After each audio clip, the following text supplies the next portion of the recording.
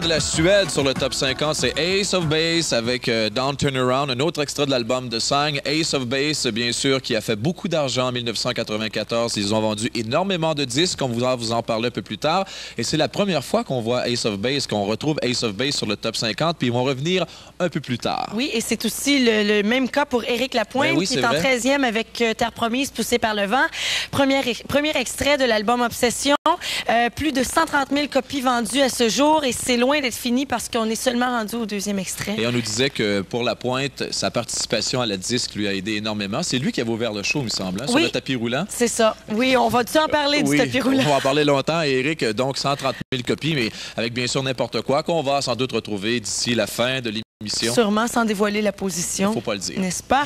Et après la pause, sur le top 50, on retrouvera le numéro. J'ai- Ma feuille n'est pas tournée.